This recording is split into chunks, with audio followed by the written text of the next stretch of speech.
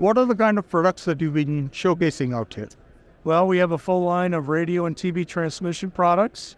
Uh, we have some new, uh, lower priced, uh, cost effective FM uh, from 50 watts to 10 kilowatts. And uh, on the TV line, we're, we're showing our myriad of products. Um, in addition, we have a, a product called Intraplex that allows customers to distribute content either from the studio to the transmitter facility or studio to studio. Um, so we're showcasing some of the new uh, items that we have in our product line there.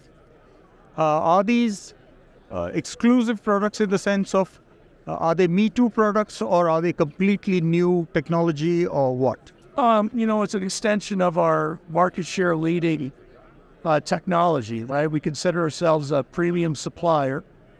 Um, so we're trying to stay in the same vein that you can get, for example, in the new GX FM line, you can get premium quality product at a very cost effective price. Mm-hmm. So that's kind of our mantra these days is is making sure that the customers can avail themselves of some of the great products that we have.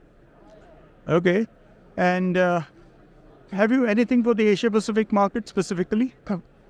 Well, the new GX line is, is very cost effective for our customers in that area.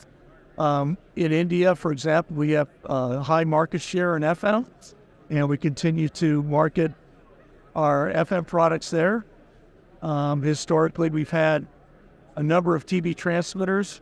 We're participating in the ATSC3 mobile testing as well. So uh, all those products that are enabling that testing to occur are on the are on the show floor here.